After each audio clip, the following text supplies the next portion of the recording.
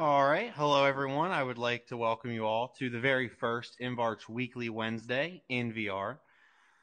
Uh, yeah, a little bit nervous here, but uh, really excited to welcome everyone uh, in, kind of give a fresh, uh, a new way of diving in and getting uh, an update on the project, and kind of a more immersive way of me being able to dive in and you know go over everything and share what's going on about the project with you all.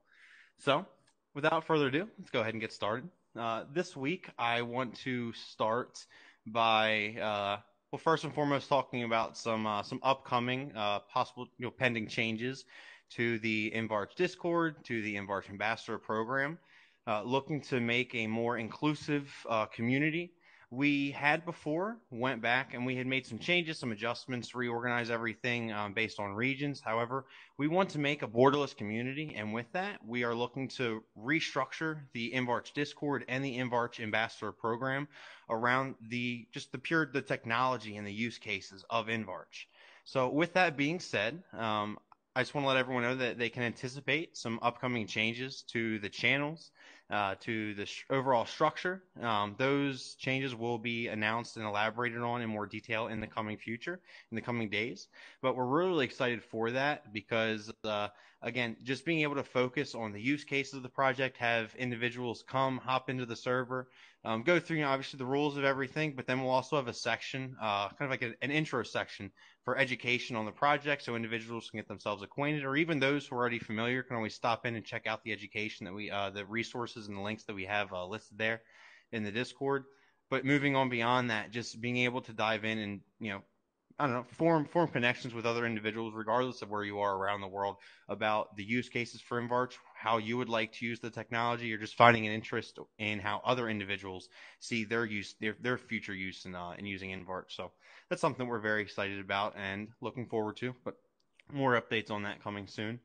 I'd also like to note and congratulate again our winners of the InvArch VR Oculus giveaway. We're going to be getting those uh, Oculus Quest 2 sent out to, to everyone um, between now and over over the weekend. So expect uh, to hear back from us soon uh, via Twitter. Uh, you may also possibly should be getting some tracking information as well. So I want to give that update as well. And again, congratulations, thank you to everyone who participated. It was really awesome, and we're looking forward to you know hanging out in VR with the winners of that campaign. so with all that out of the way, I want to go ahead and dive in a little bit about some of the tech stuff that we have going on right now in the project this week.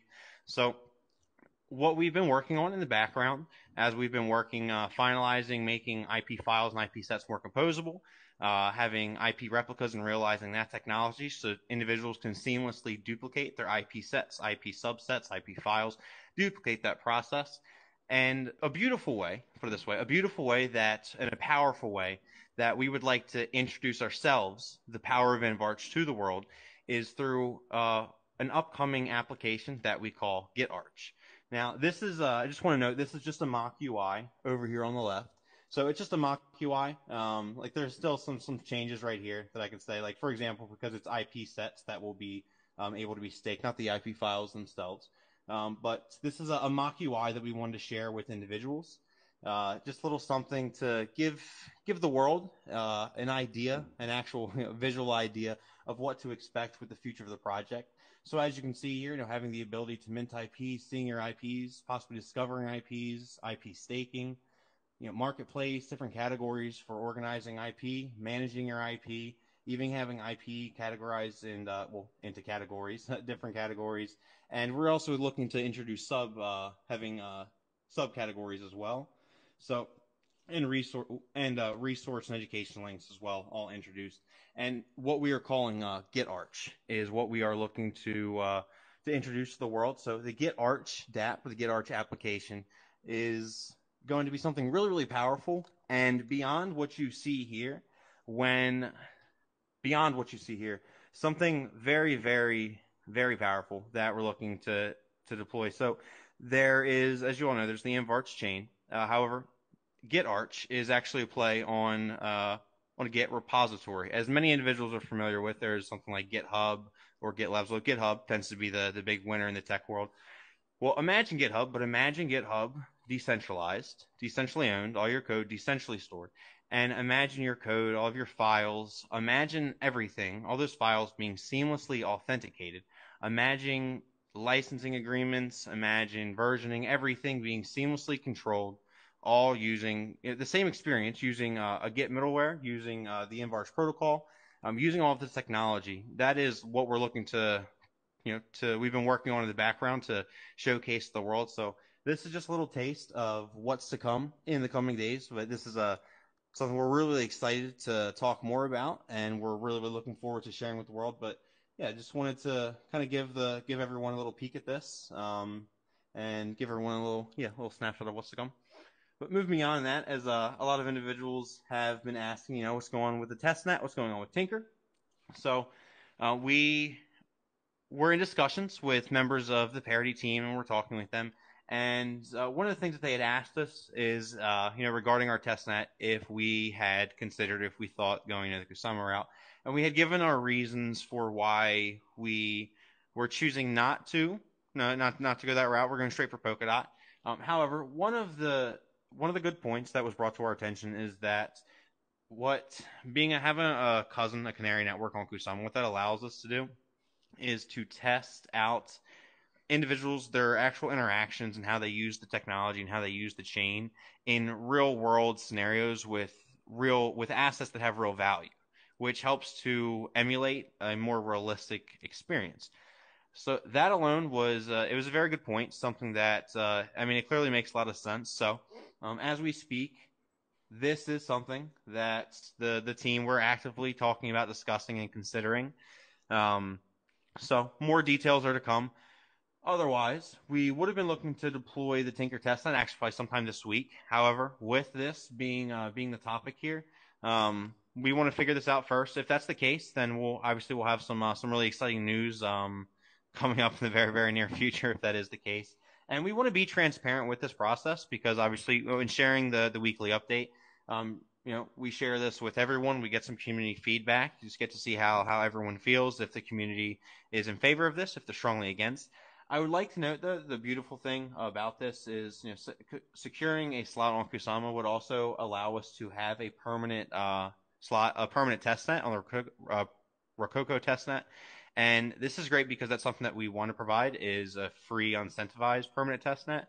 So if being able to provide, you know, both of those in tandem, have two test net or a cousin uh, network and a test net, but a cousin network that actually emulates real interactions and having an unincentivized test net, if we're able to have both of those, then uh, I mean, it, it is pretty appealing. But again, you know, we still have to, as a team, make those decisions. But yes, we want to we want to transparently share this with the community. And again, if anyone has any strong feelings or thoughts, then uh, you know, in the Discord, go ahead and feel free to to let us know. We're always open to hearing what the community has to say.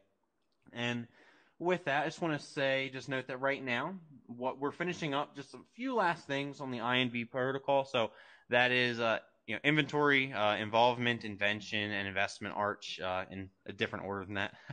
Uh, but the basically IP file IP composability protocol that is what that's the INV protocol, and we're finalizing some tech on that right now. Um, looking to move into sub assets, uh, some new technology that we'll be talking about more in the near future uh, through uh, a series of uh, education uh, educational content that we're going to be uh, deploying or not deploying that we're going to be sharing with the community.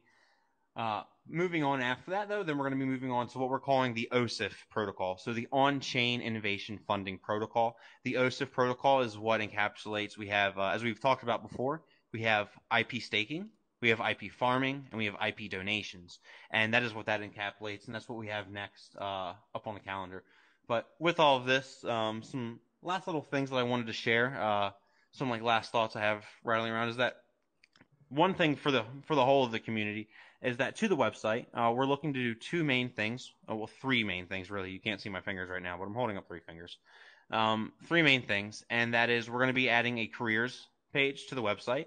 So we're going to be actually sharing several different, several new job openings or uh, career positions, career uh, opportunities to come join the InvArch team. So we're going to be sharing them and adding them to the website in the near future. We're also looking to add a community calendar to the website as well. Something that, uh, like just in a regular calendar view that everyone is already familiar with that shows individuals everything from uh, tech development, uh, updates that are being uh, deployed to um, alpha releases uh, and AMAs, etc., and having that in a nice, presentable manner on our website so anyone can click, go to invarch.network, go check the calendar and see what's going on. Um, so we want to provide that as well. That's something to look forward to, as well as the ambassador hub. Uh, this is for our ambassadors.